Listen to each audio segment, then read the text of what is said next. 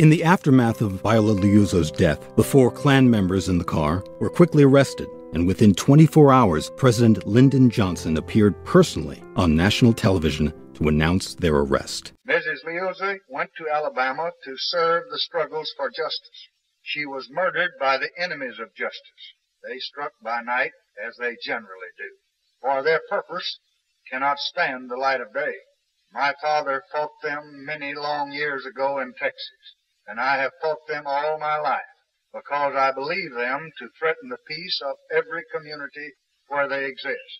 Their loyalty is not to the United States of America, but instead to a hooded society of bigots.